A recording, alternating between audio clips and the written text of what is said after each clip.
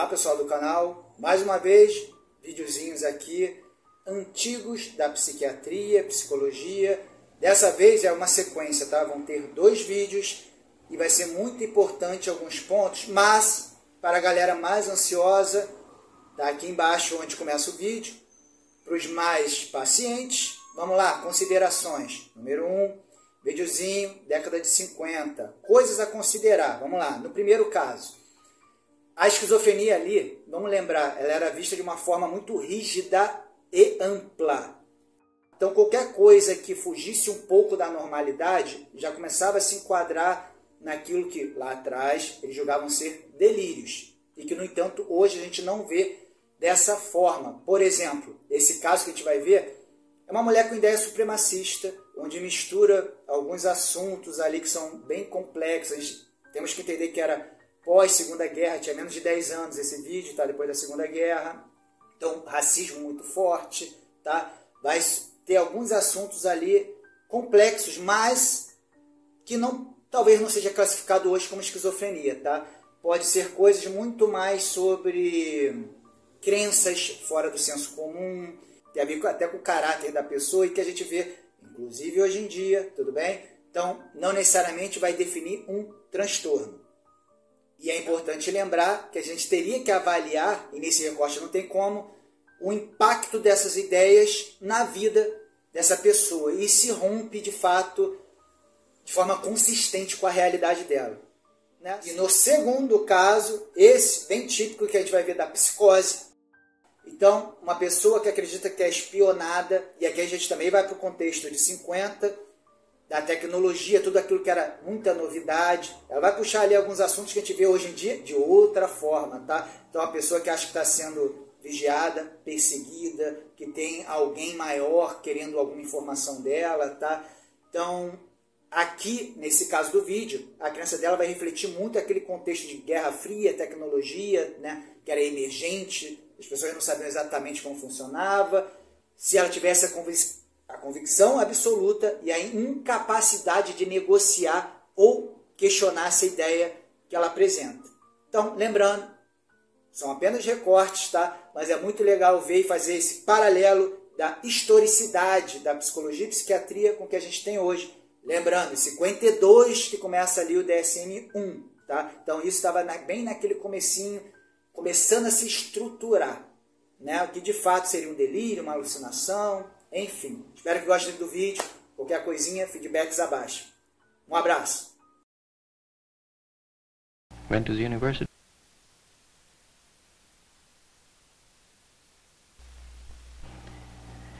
And uh, then afterwards you went to the university, or was that before? No, that was before. You took an art course. Mm. How A real mess of of my life at that time. Later you got a job in an office or in a store. Oh, only at Christmas season. Oh, it's only temporary work then. Uh, yes. Yes, that was just for temporary finance, that's all. What did you like better, the office work or working Oh, as a I sales lady? I didn't like lady? office work at all. I liked the nursing. Only, uh, of course, I've given uh, quite a lot of thought and attention to it since then, and I, uh, I have found something uh, even more satisfying than that. What is it? Book of Revelations, tell you that. You mean the Bible? Yeah. I believe in the return of Christ and the salvation from any mort- mortality. I don't believe in mortality. Immortality. You mean that we are not mortal?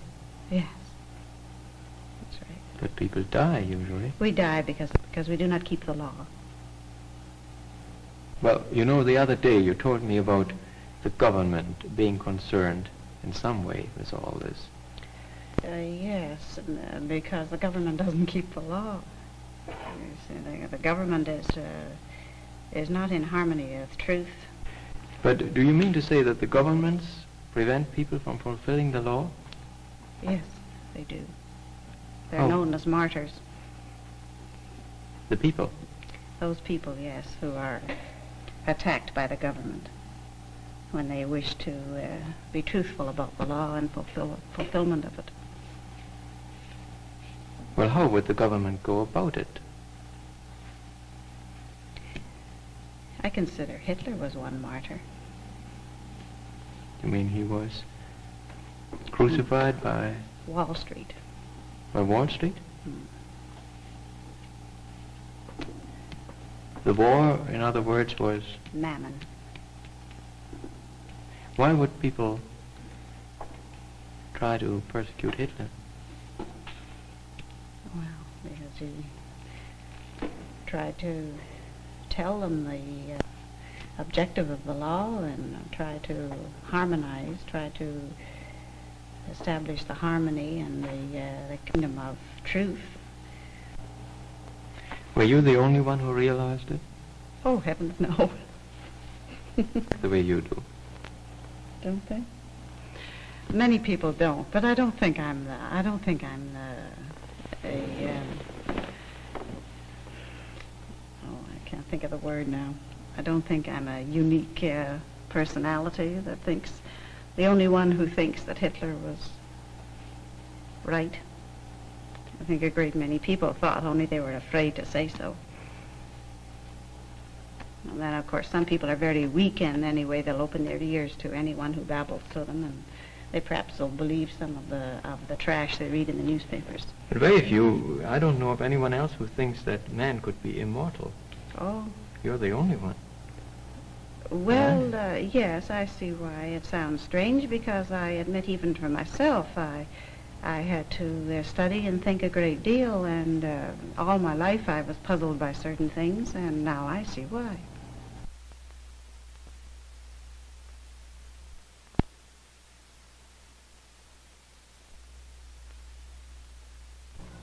And uh, she said, you have used me as a fish long enough.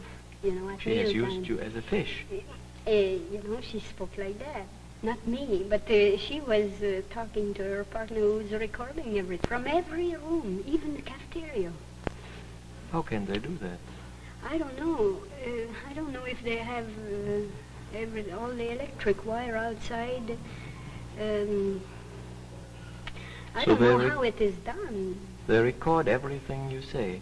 And not that I say, uh, well, not only of what I say, of what she says herself. And why is that being done?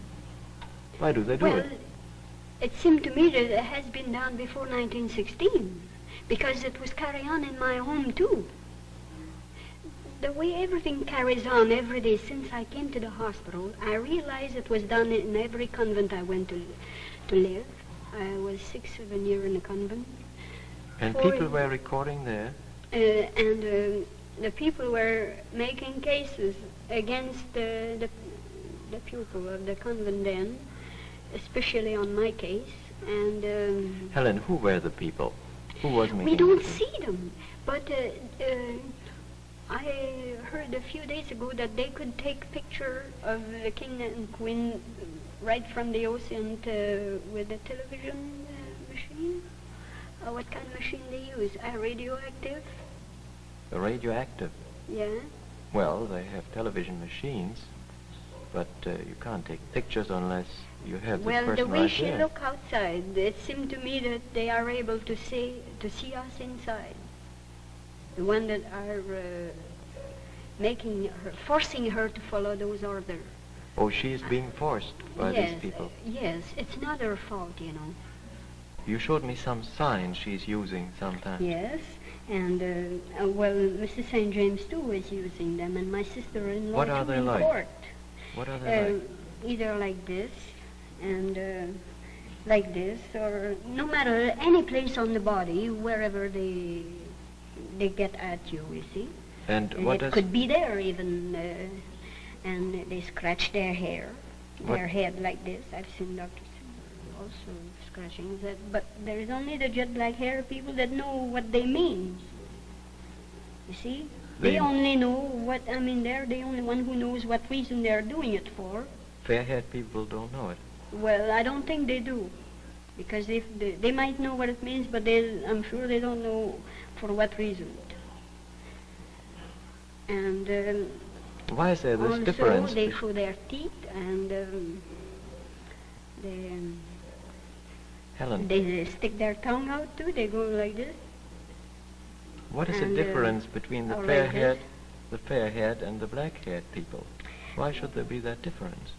Well, I remember last year Mrs. St. James giving the reason that I mentioned. you What it? Um, last year in um, letter that um, you know um, the, uh, the French uh, jet black hair people are a lot more smart to, to do anything than any other uh, fair hair people or any other nationality. She said, when you come to ask somebody to do something, she said, you never ask uh, uh, fair hair people to do something. She said, you always ask the jet black hair people to do it. And uh, so um, I just laughed it off. I didn't mind.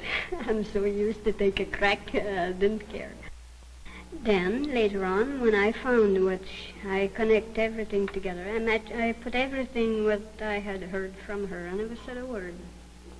I put everything together what she had said in now and then and everything. I, I find everything fit together. And then when I heard I was going to be knocked on the head, I said to myself, say that, no wonder. Now that's the group of people who don't want no clever people in the world that are uh, after the people who are um, uh, in their ways, I would say.